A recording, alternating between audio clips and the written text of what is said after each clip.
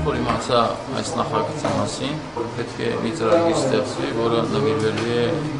Եղեռնի Հավրամյակին։ Հավաքվեցինք մի թիմով, ում հետ biz վաղուց արդեն աշխատում էի մեր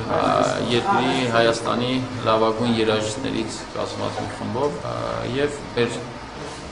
մեր ավանդը, մեր ծառայությունը ներդնել այս ազգանավեր գործին։